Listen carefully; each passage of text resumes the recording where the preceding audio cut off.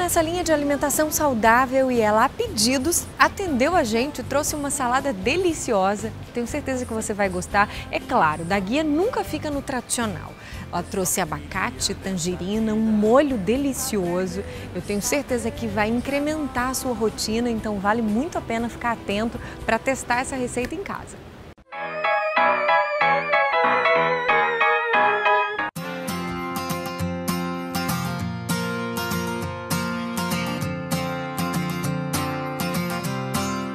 Olá!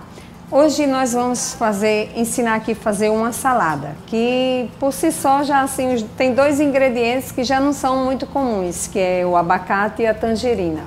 E para complementar, você sabe que toda salada tem que ter um bom molho. Então a gente vai fazer um molho que combina bem com essa salada. Acredito que vocês irão gostar. Vamos lá? Primeiro a gente começa já misturando os ingredientes do molho. O azeite, o suco de tangerina. Se você não tiver tangerina, você também pode fazer com laranja. Fica a seu critério. Suco de limão, vinagre, açúcar e a raspinha da casca de laranja. Você experimenta e o sal você bota a gosto. Aqui a gente reserva enquanto a gente prepara, arruma a salada. Gente, você escolhe folhas verdes, alface, rúcula, agrião, o que você gostar. Um abacate pequeno que você descasca e corta em fatias.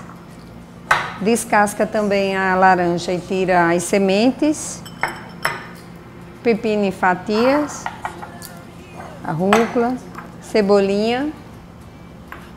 E aqui folhas de manjericão, mas aí fica a gosto. Agora vamos arrumar.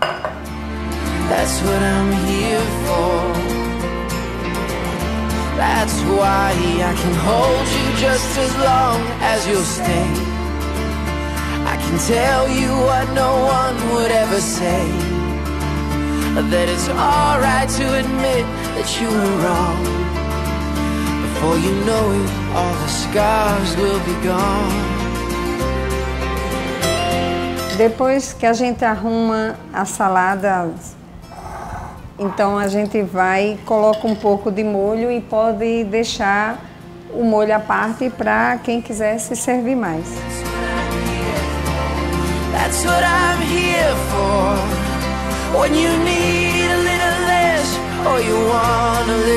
Depois de férias, carnaval, nada como uma salada para voltar àquela rotina saudável. Tá aqui, espero que vocês gostem e até a próxima.